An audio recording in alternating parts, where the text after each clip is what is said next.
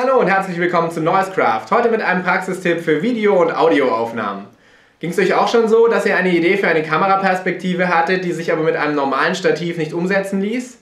Oder ihr wolltet eine Aufnahme mit einem kleinen kompakten Audiorekorder machen, aber nicht von einem Tisch aus, sondern direkt am Instrument oder von weit oben?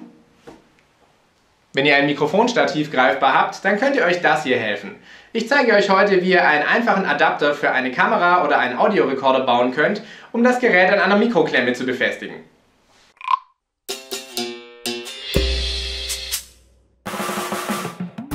Ihr braucht dazu ein Rundholz mindestens 25 mm dick, welches fest in einer eurer Mikrofonklemmen halten sollte eine Flügelschraube oder ähnliches mit einer Gewindelänge von ungefähr 55 mm. Diese Schraube kommt nachher in euer Gerät.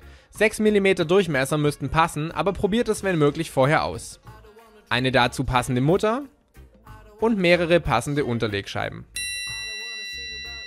An Werkzeug braucht ihr eine Säge, eine Gärungslade oder ein sehr gutes Auge, eine Feile oder Schleifpapier, ein Holzbohrer 6 mm mit dazugehörigem Gerät, optional ein Bohrer oder Dremel, um ein Loch in der Größe der Mutter bohren zu können, ein Maßband oder Meterstab, eine kleine Schraubzwinge, Bleistift und Gewebeklebeband. Zuerst schraubt ihr die Flügelschraube in euer Gerät ein und messt den Abstand zwischen Gerät und den Flügeln der Schraube. Messt dabei lieber ein paar Millimeter zu kurz, da ihr die Länge des Rundholzes später noch mit den Unterlegscheiben ausgleichen könnt. Ihr könnt auch das Rundholz direkt daneben halten und eine Markierung einzeichnen. Legt das Rundholz in die Gärungslade ein und sägt es sauber an der markierten Stelle ab. Rundet danach den Rand mit einer Feile oder etwas Schleifpapier ab. Fixiert das Holzstück nun mit der Schraubzwinge an einer beliebigen Arbeitsfläche. Zur Not geht auch eine Getränkekiste oder eine stabile Fensterbank bohrt in die Mitte des Rundholzes ein Loch in der Stärke eurer Schraube.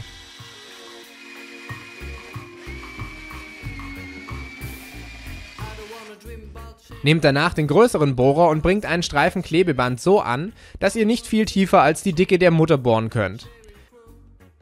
Erweitert das Loch im Holzstück so, dass die Mutter flach hineinpasst. Ich habe geschummelt und mit einem kleinen Bohrer das Loch entsprechend schlampig ausgefräst. Setzt nun euren Adapter zusammen. Steckt die Schraube in das Loch, setzt die Mutter vorne ein und dreht dann die Mutter mit der Schraube fest. Danach schraubt ihr vorne euer Gerät auf. Sollte dieses nicht sauber auf dem Adapter aufliegen, setzt entsprechend viele Unterlegscheiben auf der anderen Seite ein. Bringt dann den Adapter mit eurer Mikroklemme an einem Mikrofonständer an. Verwendet hierzu auf keinen Fall eine flexible Klemme, da sich der Adapter hier leicht lösen und herausfallen kann. Sichert die Konstruktion am besten so oder so mit einem Stück Klebeband. Nun könnt ihr die Kamera oder den Audiorekorder beliebig positionieren. Mit einem Geigenstativ lassen sich viele verschiedene Positionen realisieren, was bei Kameras eine Fülle von perspektivischen Möglichkeiten eröffnen kann.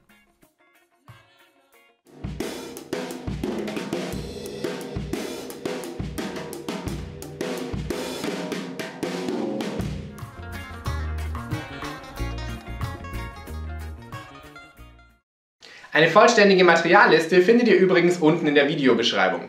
Das ist natürlich eine relativ simple Konstruktion, die vor allem für leichte Geräte gedacht ist. Man könnte zum Beispiel oben noch eine Platte anbringen, um das Gewicht besser zu verteilen, aber seid bei schweren und vor allem teuren Geräten prinzipiell sehr vorsichtig.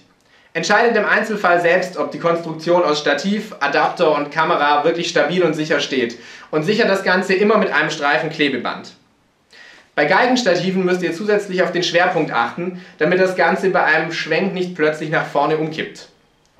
Wenn ihr weitere Verbesserungsvorschläge habt oder Videos zeigen möchtet, bei denen man den Adapter in Aktion sehen kann, hinterlasst das Ganze doch einfach unten. Ansonsten freue ich mich über Likes oder Abonnenten. Macht Musik und bis zum nächsten Mal. Ciao!